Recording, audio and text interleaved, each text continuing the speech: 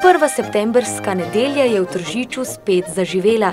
Odvijala se je 43. šuštarska nedelja, ki je Tržiške ulice napolnila številnimi domačimi in tujimi gosti. Zanimiv program in bogato založene stojnice so privabile vse, ki so želeli obuditi tradicijo in kulturo izdelovanja obutve.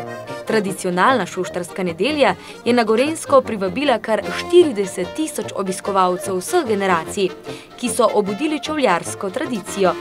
Pestra ponudba in organizirane športne ter družabne aktivnosti v mestnem jedru so dokazale, da so tržičani gostoljubno in odprtih rok sprejeli obiskovalce. Ja, letošnja šuštarska nedelja je zelo bogata, kar se tiče prodajnega dela. Na več kot 250 stojnicah so ugodni nakupi, obiskovalci res lahko ugodno kupijo od žeblja do avta, če tako rečem. S tem, da poudarki pa na obutvi in usnjeni galanteriji, tako da teh stojnic je pa več kot 70. No, šuštarska nedelja je že nekdaj bila dan D za vse vajence. Kako je s tem danes?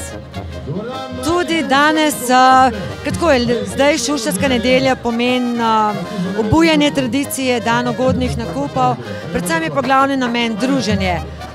Tako da ta dan D, tako kot ste rekli, je fresh prehunga. In to je običaj, cehovski običaj, se pravi, da gremo kar precej v preteklost. In takrat so mogli vajenci, ko so bili kar nekaj časa vajenci, par let, prestati zelo težek test, narediti svoj par čevljev in pred strogo komisijo so mogli potem dokazati, da so pa lahko že pomočniki.